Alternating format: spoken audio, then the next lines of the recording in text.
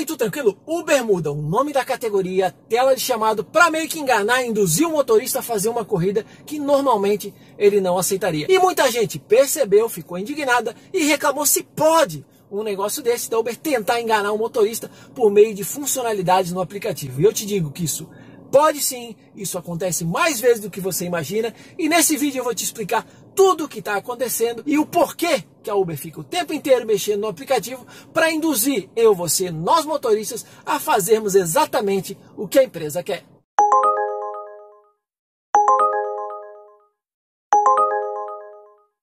Então vamos lá, se você está chegando agora no meu canal, prazer, meu nome é Fernando, eu sou motorista de aplicativo desde 2016 e nos últimos dias um negócio chamou a atenção de alguns motoristas que ficaram indignados. Do nada, a tela do Uber Promo mudou, ficou uma tela de chamado assim, ó, simples, padrão, igual a do Uber X, com a diferençazinha que aparece Uber X Promo. Só que o motorista que não presta muita atenção, que meio que está no automático, a hora que ele vê a tela padrão de chamado, a hora que ele vê Uber X e aí ele vê destino, distância, nota, o cara já aceita. Depois da corrida é que ele vai ver que fez uma corrida do Uber Promo, na hora que ele vê que o valor não bate muito bem com o valor tradicional naquela corrida, quando ele vai olhar o extrato. E aos poucos prestaram atenção nessa diferença, nessa mudança, e já de cara ficaram indignados e começaram a printar, espalhar nos grupos, dizendo: ó, a Uber está querendo enganar os motoristas, ela está mudando a tela de chamado, está fazendo coisinhas aqui ó, para induzir o motorista ao erro, para induzir o motorista a fazer exatamente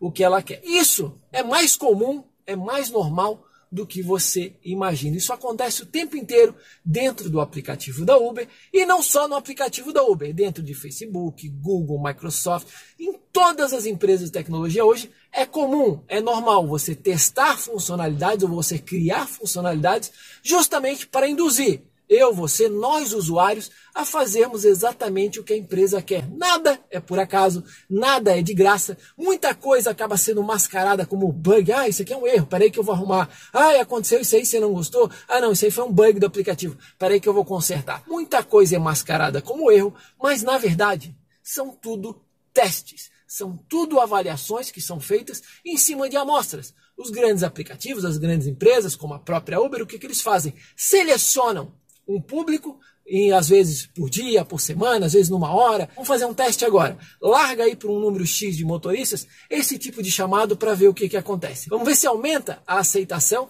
caso a tela mude, caso apareça um nome diferente. Vamos ver agora, vamos dificultar o cara ficar offline. Quando o motorista começa a ficar offline em algumas corridas, vamos começar a derrubar o aplicativo, vamos travar ele, vamos dar erro para fazer o cara ter que reiniciar o celular, desinstalar, instalar o aplicativo, vamos incomodar para que o motorista comece a ver que, poxa, se eu ficar saindo e entrando no aplicativo, se eu recusar duas corridas, ficar offline e ficar online de novo, começa a travar, não, melhor não fazer. Tudo é feito, tudo é pensado para induzir eu, você, nós ao erro, não ao erro, mas a fazermos exatamente o que a empresa quer. Ou você acha que eles tiraram o multiplicador do dinâmico à toa, ou vocês acham que eles mexem na tela de chamada o tempo inteiro só para mudar o layout para ficar mais bonitinho. Tudo é feito com um propósito, um objetivo, e na grande maioria dos casos está sempre alinhado às metas, aos objetivos da empresa. E qual é o grande objetivo da Uber? É aumentar o número de chamados, é fazer o motorista aceitar o maior número de corridas possível,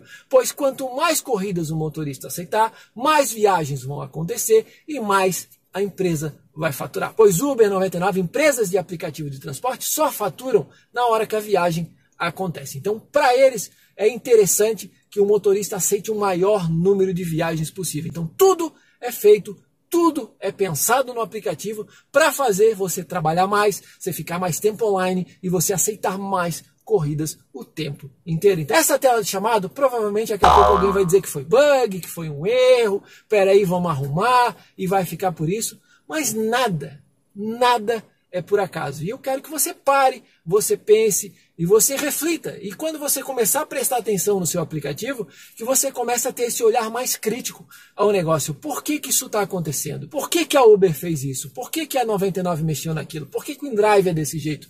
Nada é por acaso, tudo tem um objetivo e sempre alinhado à estratégia da empresa de faturar mais. E você aí já tinha prestado atenção nessa situação? Já tinha percebido que volta e meia essas coisas, bugs, travamentos e mudanças, na verdade são técnicas, estratégias, coisas que os aplicativos fazem para levar eu, você, nós a aceitar mais corridas, a mexer menos no aplicativo, quase que bem dizer assim, ó, cara, deixa no automático, liga ali o aceitar chamadas automaticamente e só se preocupa com dirigir. Já percebeu isso? Então deixa aqui nos comentários, quero saber a sua opinião. Se curtiu esse vídeo, te convido a se inscrever aqui no canal que é de graça, é só clicar aqui embaixo em inscrever-se e do lado do sininho e compartilha aí com a galera, compartilha aí nos grupos, com os amigos, para mais gente entender o que que acontece e começar a ter esse olhar mais crítico, começar a prestar atenção no que que os aplicativos estão fazendo, até para você se prevenir e não ficar só fazendo o que os aplicativos querem e sim focando no seu dinheiro, ok? Gente, um grande abraço, se cuidem na pista e a gente se vê no próximo vídeo, hein?